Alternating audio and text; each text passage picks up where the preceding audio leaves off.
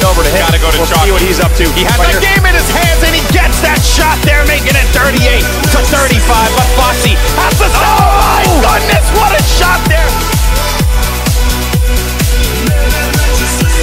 Chalky, who's got the Rockets in ring, picks up one kill and turns two for the double. That's right. He's looking by ring through to see if he can find anyone there. That's That's going to be the triple. kill there for Chalky, and he's looking to follow this one up. Oh, again with and he's going to get the headshot to boot on that one.